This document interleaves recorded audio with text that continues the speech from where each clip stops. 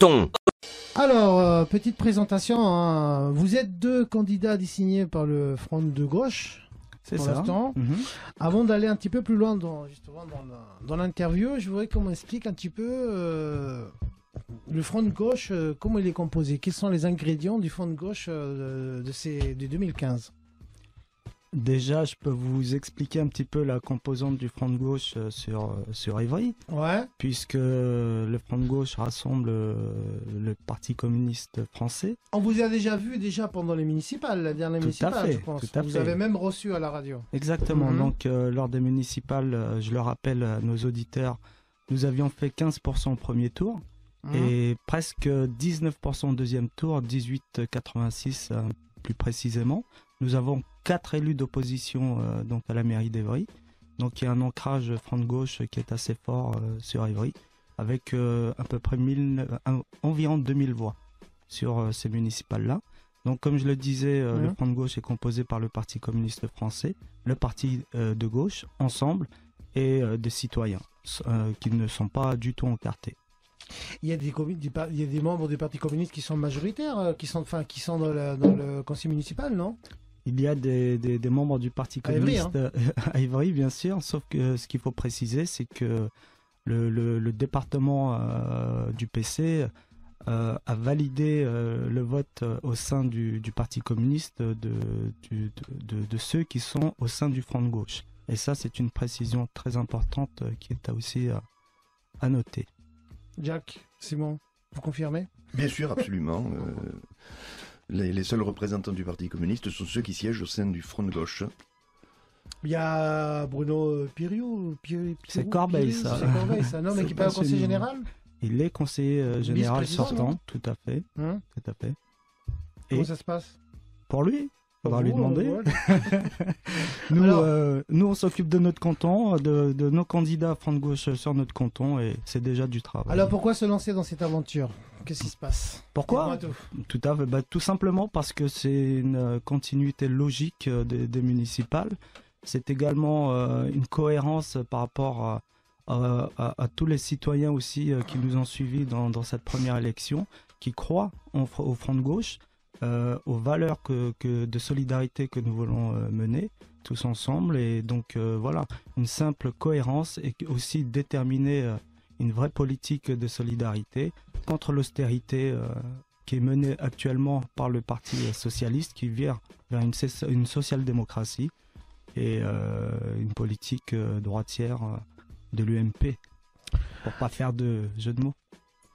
Bah si, un petit, un Oui, petit un jeu de mots quand non, même, je vous le dis. Social-démocratie a un petit veut jeu de dire mots, provocation, et, là, euh, d'après vous.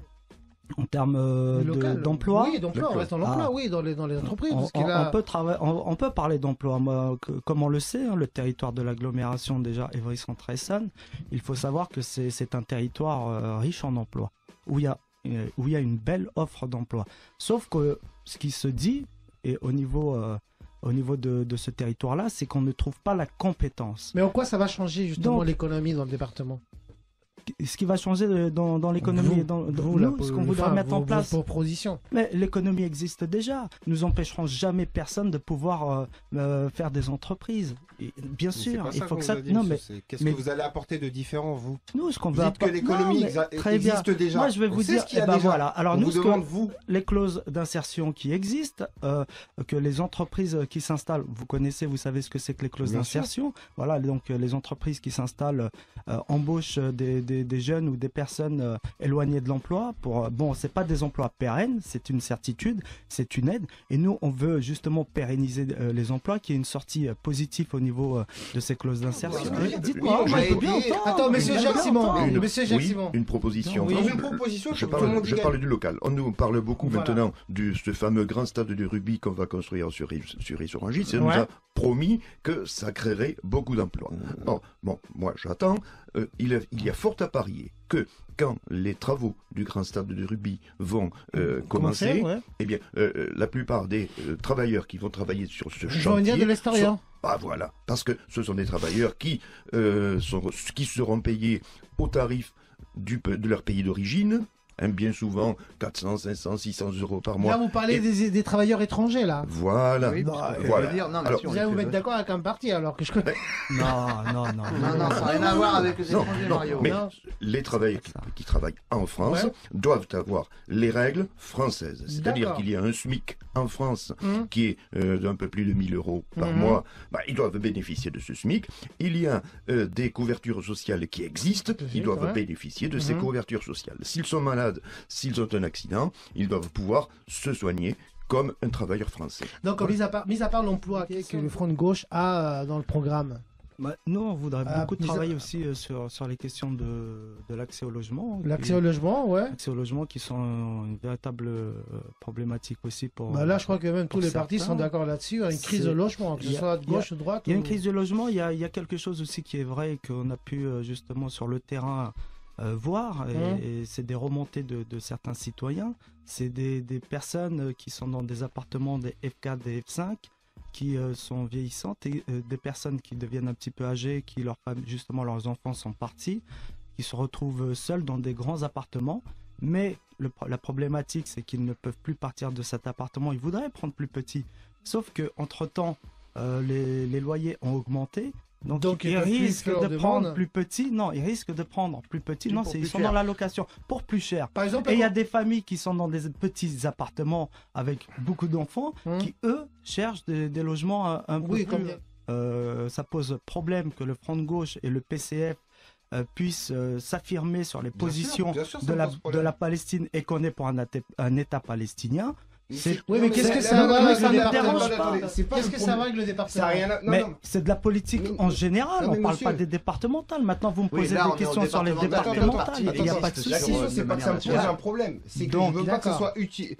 Du Je veux pas que ce soit utilisé comme Nous euh, avons- propagande de. Mais- voilà mais ce que monsieur- je propose. Non, non, Mais si, tout. c'est ça, Si mais ça c'est existait pas Ça, ça c'est c'est Si votre, ça c'est existait votre, avant. mais excusez-moi, c'est votre Le parti Syriza, c'est un choix qui a été fait et qu'on tend à remettre en cause, les institutions européennes tendent à remettre en cause ce choix en imposant financièrement, Mhm. en imposant à la Grèce le fait qu'ils doivent rester dans les clous de l'Union Et, européenne. euh, au deuxième tour, là, Oui, si On vous y n'êtes sera. pas, dans- si vous êtes Comme- pas dans le deuxième tour, on vous y faites sera. quoi On y sera. vous vous appelez à voter quoi On n'appelle pas à voter. Vous appelez- Les- nos, ci- nos- non, nos, nos Non. électeurs sont assez grands pour savoir quel choix ils ont à faire.